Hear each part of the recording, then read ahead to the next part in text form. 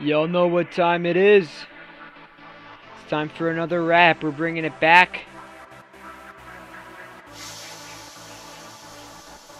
Gene Expression. It's 2020 Corona break. Let's get this started.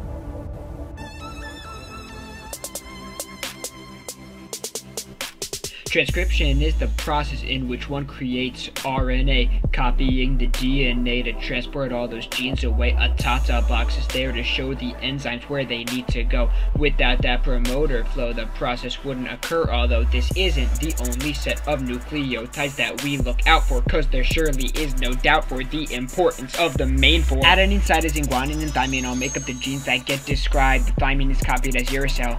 That's just how it gets transcribed. With that newfound knowledge at hand, I can't explain the process. It's time to address and assess transcription with finesse.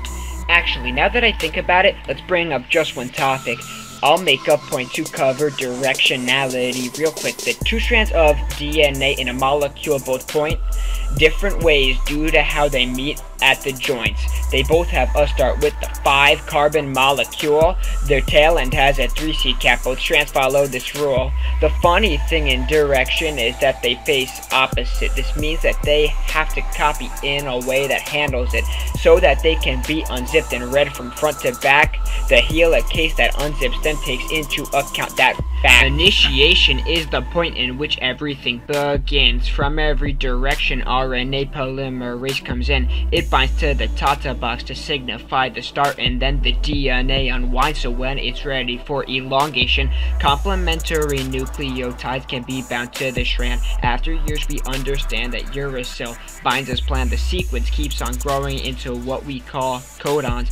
Dozens of sets of three bases side by side that can be called on. The final stage of all transcriptions is called termination. Just finish up the station and then we hit up translation. The RNA polymerase finally reaches what we call a termination sequence. It stops copying nucleotides and the RNA can be used to commence translation in full. Use the genes, protein synthesis as you please. Cells complete by any means. Want a description? Listen to these. And while I have you here on that one tiny little note you know, I also want to mention here another little moat to show. After mRNA in transcription is formed, it is then scorned and the sequence gets all torn. Because certain codons are useless or harmful, the messenger is divided and perfect as can be. Exons, or codons that get expressed, stay, while the introns are filleted because they're getting in the way.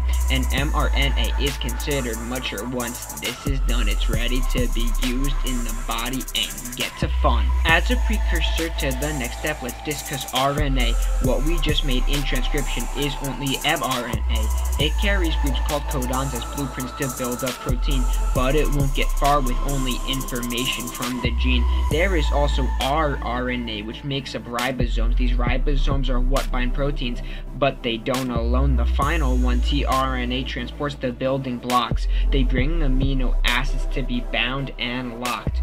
All three types of RNA contribute to the end result, and without a single one of them, they would not reach the whole. Translation is the process where the protein is created, because if you're feeling jaded, you need energy to be translated. The mRNA is the base of the whole thing. Bring the string and fling the tRNA to the transferrin. Ribosomal subunits bond to the blueprints as they are. It shouldn't really be bizarre. Like I said, the blueprints don't get fucked. The smaller subunit complex complexes read the mRNA. This tells the tRNA where and when to be RNA. They bring amino acids from each and every cell to the specifications of what the mRNA tells. Each codon in the mRNA calls for certain acids. The codon's order is how to determine how they're added. The large ribosomal subunits bond the acids on. There are three main sites where this bonding is undergone. The A site is the space in which the tRNA sits while the acids bind it sticks and a little later shifts. Over to the P site where it holds the sequence still, while another tRNA will, at the active site, fill. Finally, the RNA will shift down there to the E site, and even though it's helped despite, it's discarded downright. This process continues till we reach a termination. It goes UGA, or we have UAA, or we have UAG, all to stop the translation. tRNA and the ribosome split from the messenger. The amino acids transfer into one new protein used for any bodily function that we could possibly think of. They only are accomplished because of these microscopic buds. That's it, everyone. That's the song. That's the rap. Good work. We learned a few things. Hopefully got a good grade. Hoping everybody has a good day. Good luck.